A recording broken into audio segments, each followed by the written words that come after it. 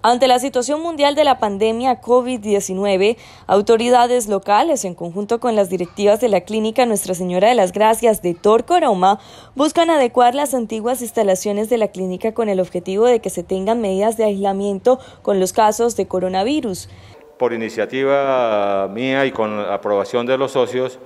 eh, les presenté al municipio la propuesta de ofrecerles estas instalaciones en forma gratuita para aislamiento de los posibles pacientes que se presenten con la enfermedad de moda ahorita, la, la, pandemia, que es el coronavirus o el COVID-19. Aquí tenemos la antigua edificación donde funcionó una hospitalización y tenemos más o menos una capacidad adecuándola para, 10, para tener 10 pacientes. Eh, la alcaldía hace las adecuaciones físicas, locativas, el hospital pondría la parte de, de recurso humano y la tecnología, que le queda más fácil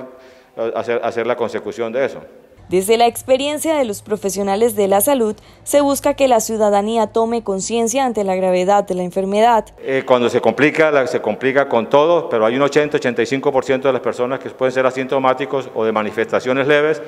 que se manejarían en casa. De ese 15%, un, un 5% sería lo que se complicaría más o menos en estado crítico,